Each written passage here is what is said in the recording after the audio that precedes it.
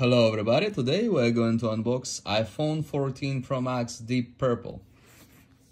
Purple here, this is the box. This one is AT&T. AT&T sends in big box like this, much bigger than Apple. And uh, comes with a receipt and uh, this notification paper that this is eSIM. And as far as I understood, uh, you won't be able to use this phone with like other AT&T account or anything or even on a different line so you can just get it and sell to someone else. Um, the owner of this phone got it as a trade-in. Uh, they gave them uh, 11 Pro Max for a thousand dollar credit. I believe it's the promotion is still on for 800 dollar credit for 11 Pro Max which you can like buy on eBay for 400 or so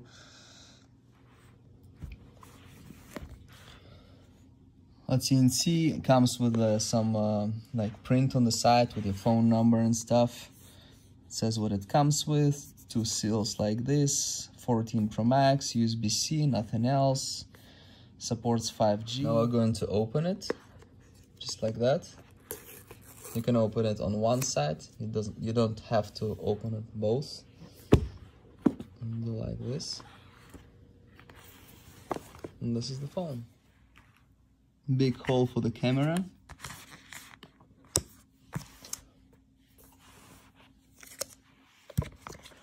We'll get back to the phone in a second. So we have this USB-C to Lightning, same cable as in uh, previous models. Then we have manual, this eSIM, Apple sticker, and um, this paper, and that's it. No longer need physical SIM. Okay. And this is the phone.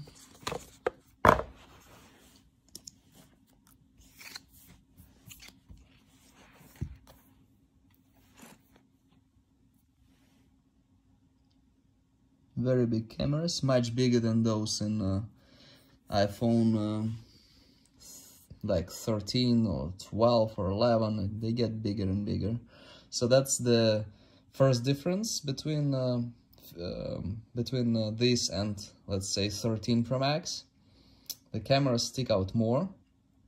So some cases will not work because of that.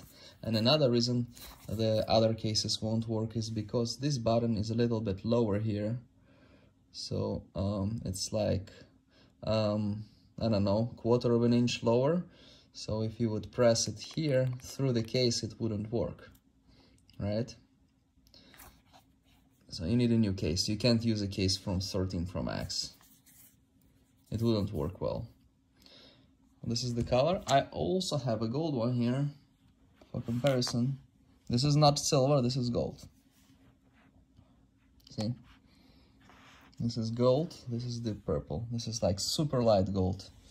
Like, yeah. Here it's more like um, more of the real gold color kind of kind of. Yeah. This color is, uh, looks more like real gold. This one is like mix with some light metal. Um,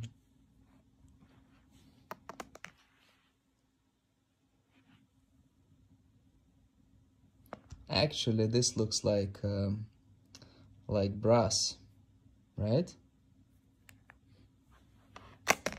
Yeah, it rather looks like brass. Yeah. Or zinc or something.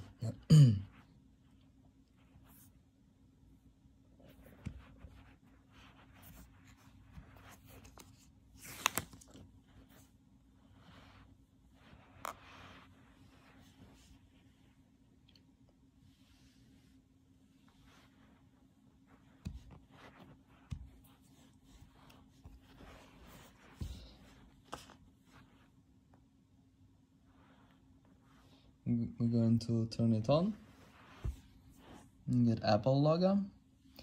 Another visual difference is this. You can definitely see it here. This part is different. It's no longer like all black here, it's now like a circle. Here, see? Like a circle kind of thing. You get this purple and blue here just like on the box.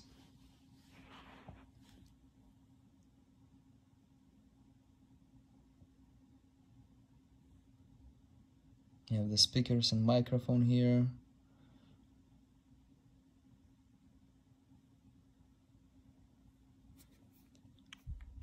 That's how it looks. This is a new color, obviously, for 14 Pro Max. And um, this kind of too, because this doesn't look like any gold from before, except for on the sides. Silver is just like very, very um, white kind of, and um, black is more black. And these colors, we can say both of these are new. This is new gold. It's like a little bit gold, right? Like almost white gold, kind of. Like in between gold and white gold. Mm -hmm. this, this is flash, I believe. I'm to show you very closely.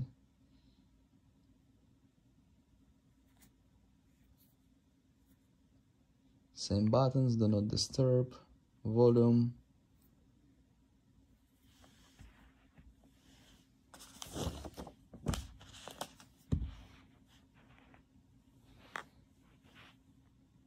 This is my least favorite color of all 14 Pro Max, even though it's completely new, and some people would like it just because it's new. But um, I believe some people would buy it just to show off that they have 14 Pro Max, and so everybody would know they have 14 Pro Max and not something else. Well, if you buy like black, people may mix it up with 13 Pro Max or 12 Pro Max, so they will not think that you're as cool as someone with 14 Pro Max. Mm, I believe that's like the only reason to buy this color. Mm. Stick out a lot. I remember I recently saw 11 Pro Max and those don't stick out like almost at all, just little bit. And before cameras were all like in inside.